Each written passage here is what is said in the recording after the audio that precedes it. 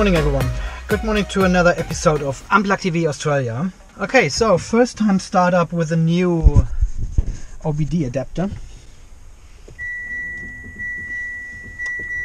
Blue, green lights flashing, disco, and the dog connects straight away. So definitely an issue with the old Konnwei Bluetooth adapter. Alright, so this morning it's a long story now. no shit, I need to open the gate. Okay, stay calm, stay calm, Andy.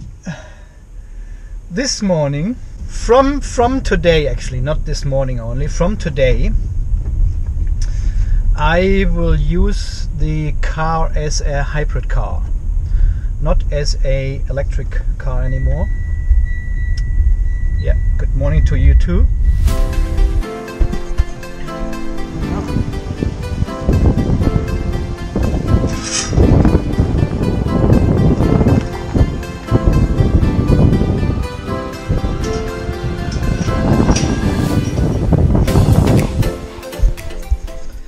So we are starting with 98% state of charge this morning. Basically, people have told me several times now that I'm doing it wrong and apparently everyone else who's driving a PHEV as well. Because we are all trying to maximize the, the pure EV range in it by driving it very slowly and um, yeah, trying to prevent the engine from coming along. But apparently this is not the way you drive the car because it's a hybrid, plug-in hybrid car. You're supposed to use it as a hybrid, not as an electric vehicle. So what I'm going to do now is, as soon as we hit the highway, I will press the save button to start the engine and then we drive on petrol in hybrid mode to work on the highway. And when we leave the highway, I turn off the engine again and we drive in POV and the rest distance to work. Ah, what is going on there? Construction works again. Ooh, they've got a traffic light here. That is very rare in Australia. Usually you have someone standing here with a little sign and stopping the traffic traffic as required. But this is very unusual to actually have a traffic light. So we will drive the car as a hybrid car for the next. So I'm expecting I'm so I won't recharge at work anymore for the time. I drive to work, park there, and come home, and do the same on my way home as well.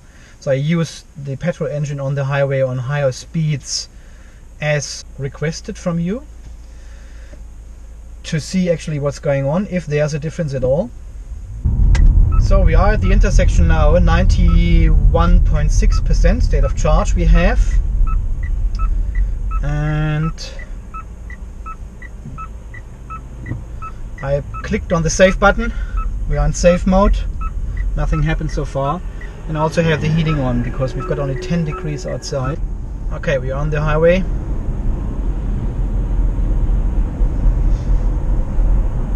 I don't think the engine comes actually along until 85 or so. We are at 89.3 and still driving on pure electric. Uh, now it comes, but I demand a little bit more power to overtake these um, slow riders here. I'm not sure, 86%, 87% state of charge.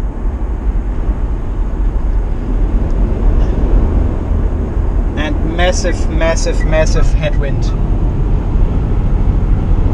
Super massive headwind we have. Still in series mode. Engine is warming up.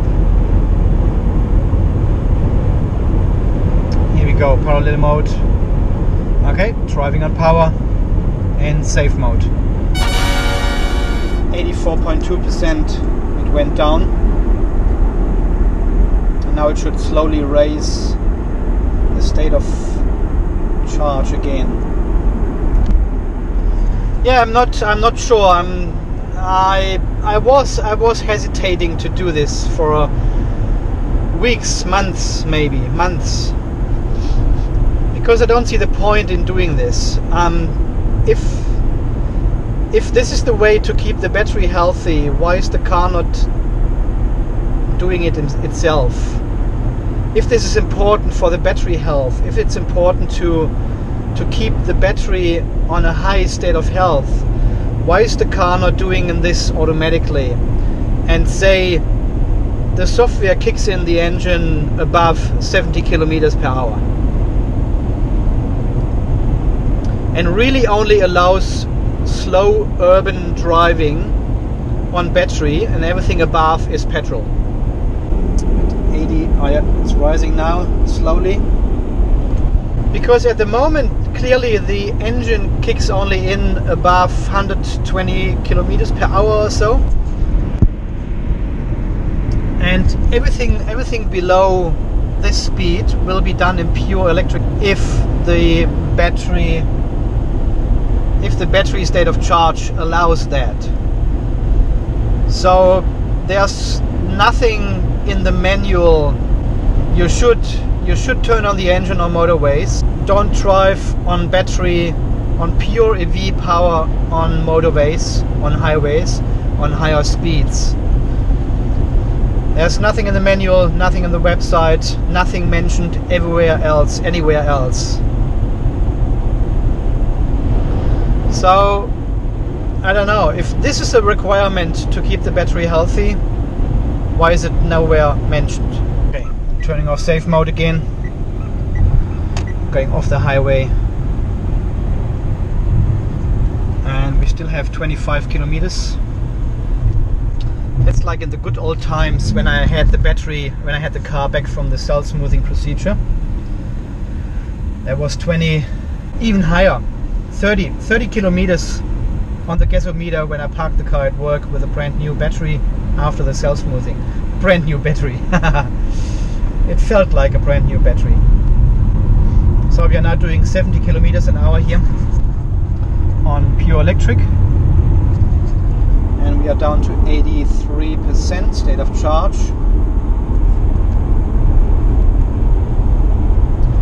And I will keep using electric power now until work then park the car and then go home in the same same way. How much fuel we've burned? Six liters per 100 kilometers. Hmm. If if this really works and the state of health is rising after one or two weeks,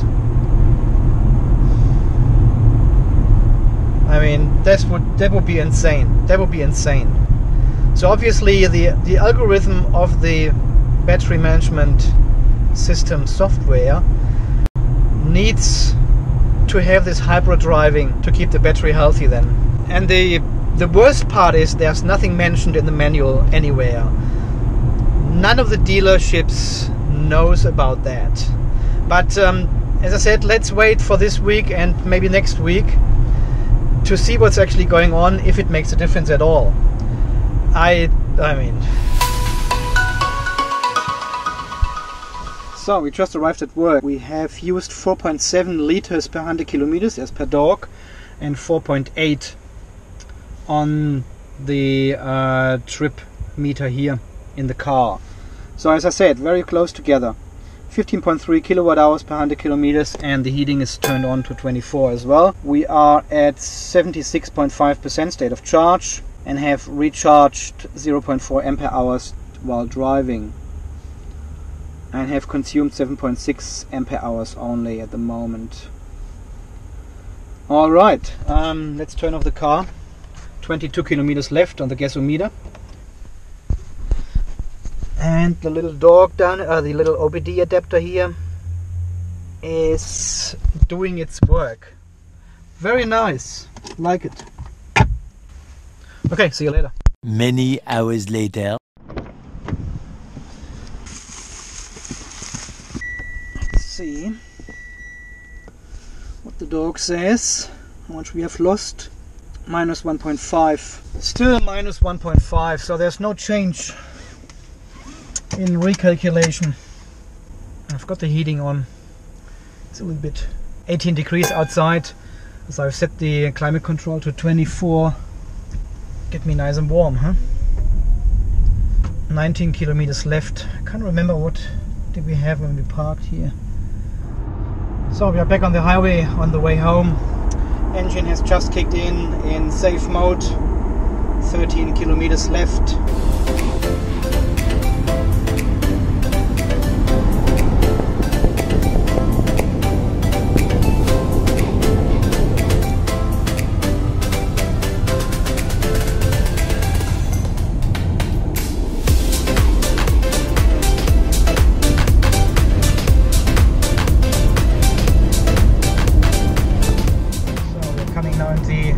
Kilometer zone, turning off save mode, let the car coast.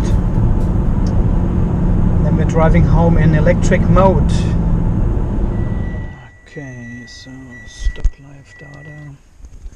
Turn this one off. So I just want to see. This is the trip card from today. So we have used 14.4 so one and a half liters of fuel on this trip.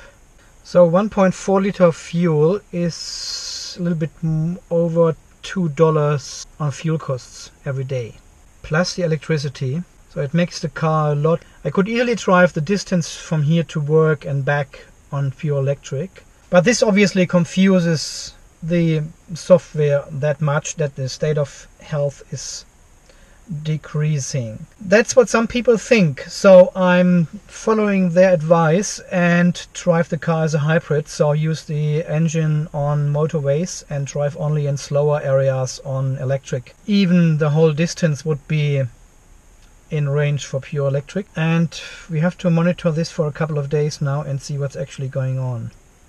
So at the moment I'm not impressed with this. Makes uh, $3 a day times 5 $15 a week on fuel costs or energy costs to go to work and back.